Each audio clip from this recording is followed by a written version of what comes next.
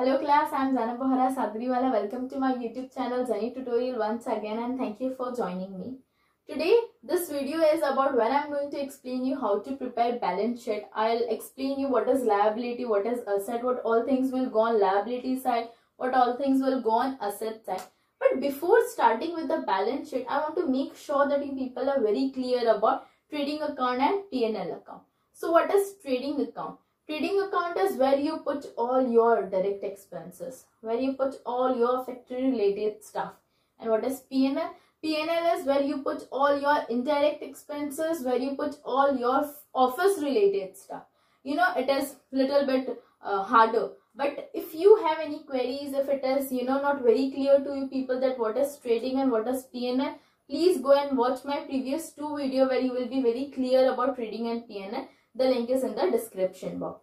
So, today I'll start with balance sheet. Now, what is balance sheet?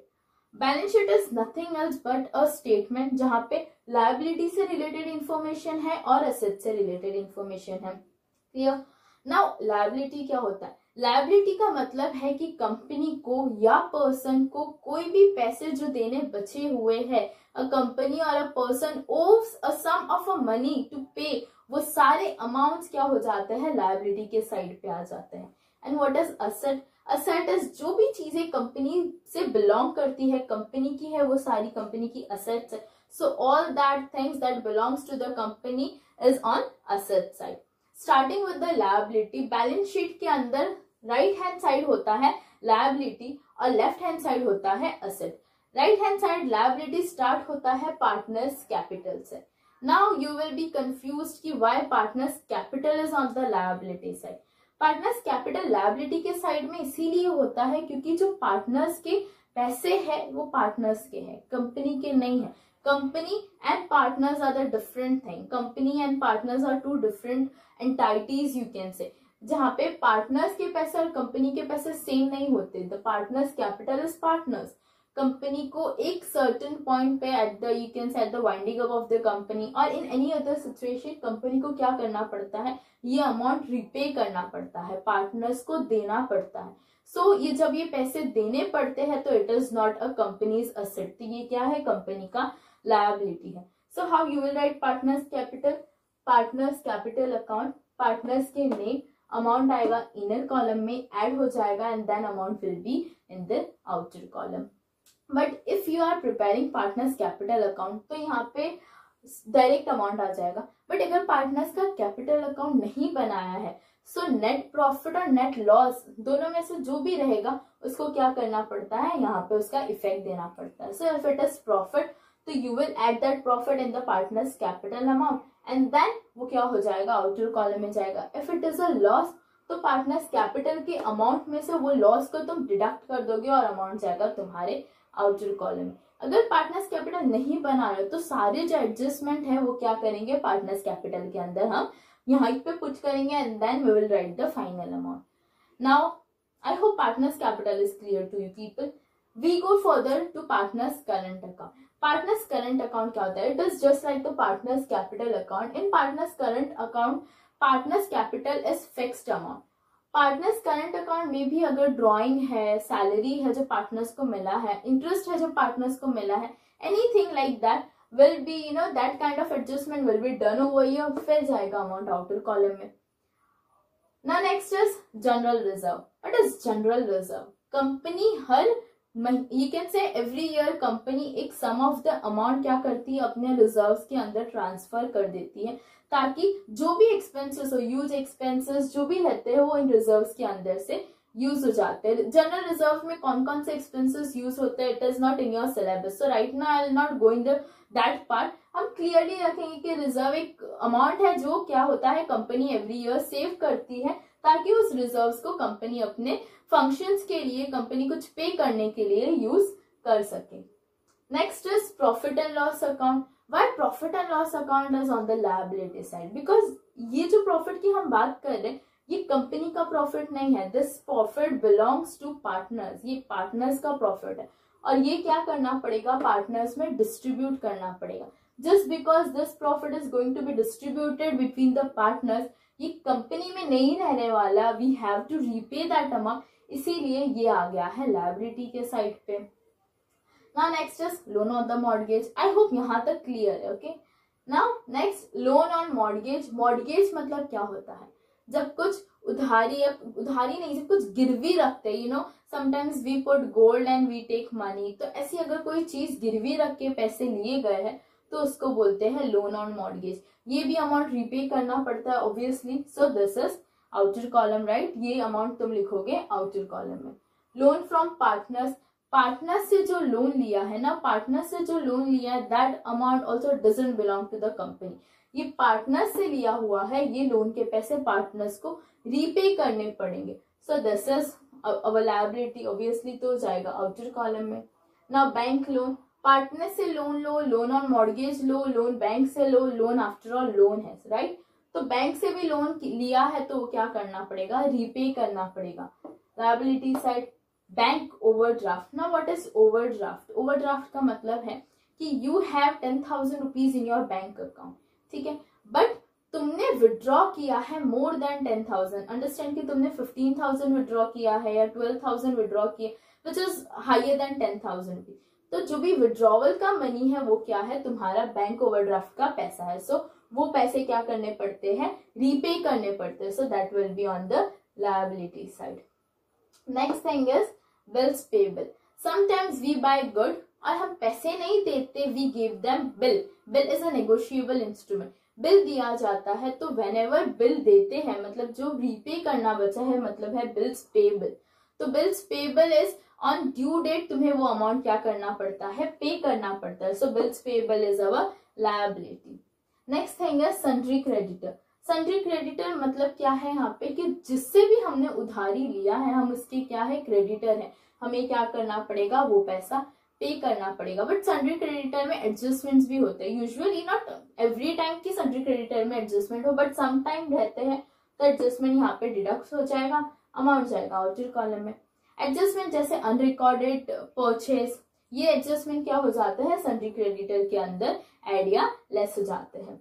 Next is provision for discount on creditor अब creditor में कभी कभी creditors को कभी कभी डिस्काउंट मिल जाता है। कभी कभी उनका जो अमाउंट है वो वेव हो जाता है। तो वो अमाउंट क्या हो जाएँगे? डिडक्ट हो जाएँगे और फाइनल अमाउंट जाएगा आउटर कॉलम में।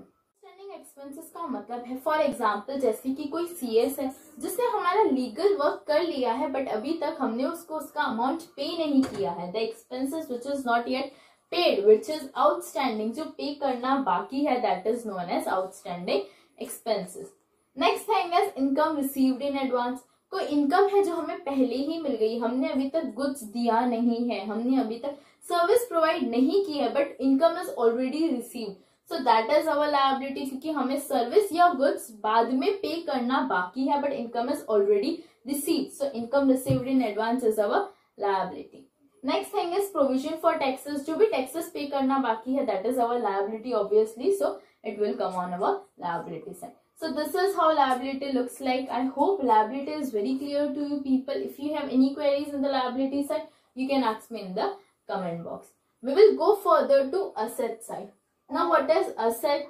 The things which belongs to the company known as asset as I told you before. So first thing we will start with land and building. Land and building क्या है company का asset है. So land and building फिर land and building पे होता है depreciation not always but asset पे होता है डेप्रीसिएशन ना व्हाट इज़ डेप्रीसिएशन मैंने पीएनएल में भी समझाया था डेप्रीशिएट इज़ कि कोई चीज़ जो हम बहुत टाइम से यूज़ कर रहे हो क्या होते जाता है एक सर्टन अमाउंट के बाद डेप्रिशिएट होना एक सर्टन पीरियड के बाद वीकेंड से डेप्रिशिएट होना स्टार्ट हो जाता है। सो so, वही क्या हो जाता है डेप्रिशिएशन का वैल्यू कट हो जाएगा एंड देन अमाउंट जाएगा आउटर कॉलम में। So sometimes land and building पे डेप्रिशिएशन हो सकता है। सो so, वो क्या हो जाएगा land and building then depreciation का अमाउंट यहाँ पे कट होगा final amount outer column next है लीज होल्ड या फ्री होल्ड प्रेमाइसिस जो भी लीज होल्ड मतलब होता है कि that land doesn't belong to you exactly but yes you have a right for that land for certain period of time तो वो क्या हो जाता है? लैंड प्रेमाइसिस जो भी है वो लीज होल्ड प्रेमाइसिस या फ्री होल्ड प्रेमाइसिस है, वो तुम्हारे लिए क्या है? असेट है।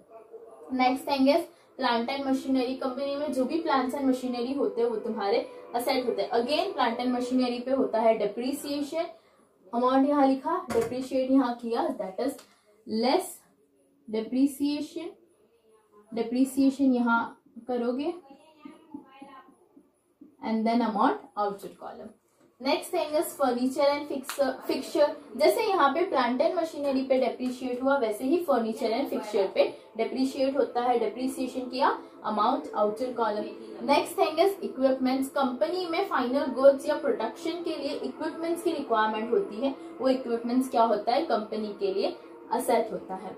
Loose tool loose tool is also known as current asset जो कंपनी के करंट असेट है, वो क्या है? कंपनी के asset obviously outer column stores and spare part outer column next thing is motor van motor van पे भी depreciation होता है मोस्ट ऑफ़ द टाइम तो यहाँ करोगे डिप्रिसिएशन अमाउंट जाएगा आउटर कॉलम में. नेक्स्ट इज़ इन्वेस्टमेंट कंपनी हमेशा जो अर्न करती है, वो अपने गुड्स को बेच कर या सर्विस को प्रोवाइड करके ही नहीं करती.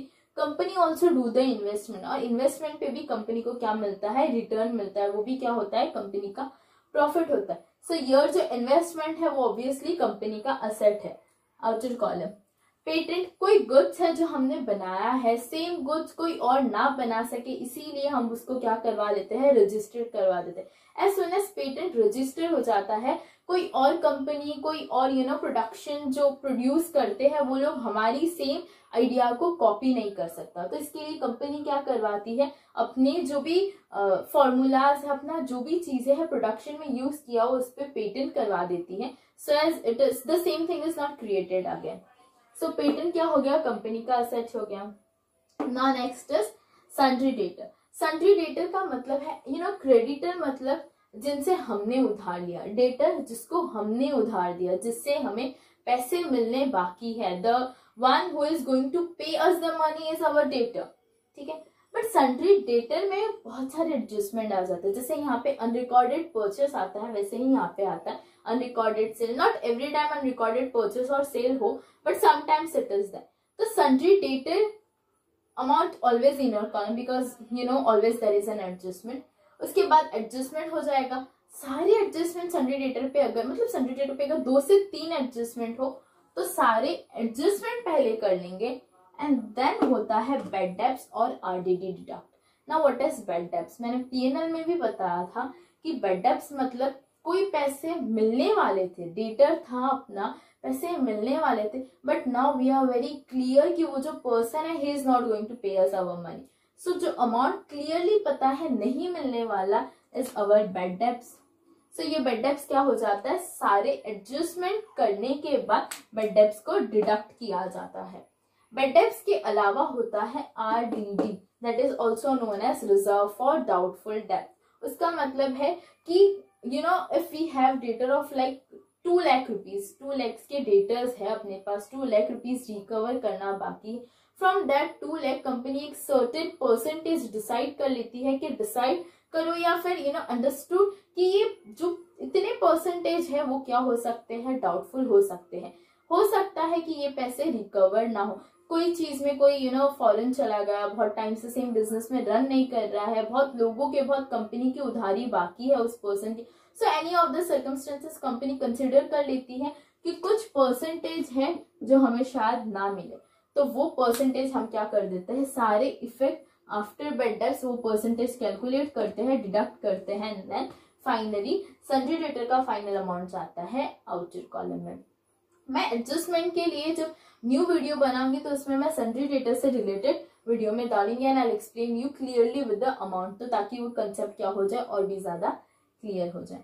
Now next is bill receivable जैसे यहाँ पे होता है बिल्स पेएबल वैसे ही यहाँ पे होता है bills receivable what is bills receivable हमने किसी को गुड्स दिया, वो पर्सन ने हमें अभी तक कैश पे नहीं किया हुआ है। उसने हमें एक नेगोशिएबल इंस्ट्रूमेंट दिया हुआ है, जिसपे ड्यू डेट लिखी हुई है और so and so certain amount लिखा हुआ है। और हमें वो ड्यू डेट पे हमारा सर्टन अमाउंट क्या हो जाएगा? रिसीव हो जाएगा। तो उसने हमें बिल दिया, जिसपे पैसे मिलने वाले so it is known as bills receivable bills receivable जाएगा आउटर कॉलम में।